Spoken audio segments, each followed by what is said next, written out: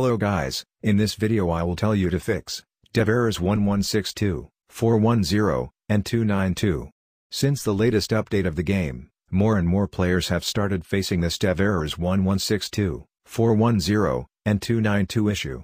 These errors are totally ruining the game experience as it affects private matches leaving the players unable to play the matches with their friends or even with bots. The error usually pops up when players try to start a new custom or private match. And to fix you have to do First. Change FPS. Hanja your Modern Warfare 2 FPS settings from custom to unlimited as many players reported that changing the FPS has fixed this issue for them. If it is already set to unlimited, try changing it to a lower value like 60 or even below until this problem is officially resolved. Second. Change cache size. This is the most effective fix as it is seen that changing the cache size to medium or small has fixed the issue for many players. Go to Settings. Graphics. On-demand texture streaming. Then, set the cache size to medium or small. Third. Turn on DLSS. Players have reported that they have started facing the step error 1162 issue when they turned off the in-game DLSS setting, so if have also turned your DLSS setting off then turn it back on. Fourth. Change refresh rate.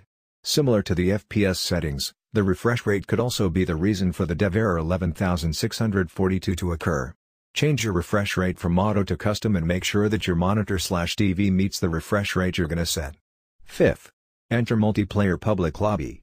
As reported, this error is usually happening with private matches, so one way to temporarily fix this issue is, to enter any multiplayer public lobby and exit after walking a couple of steps there.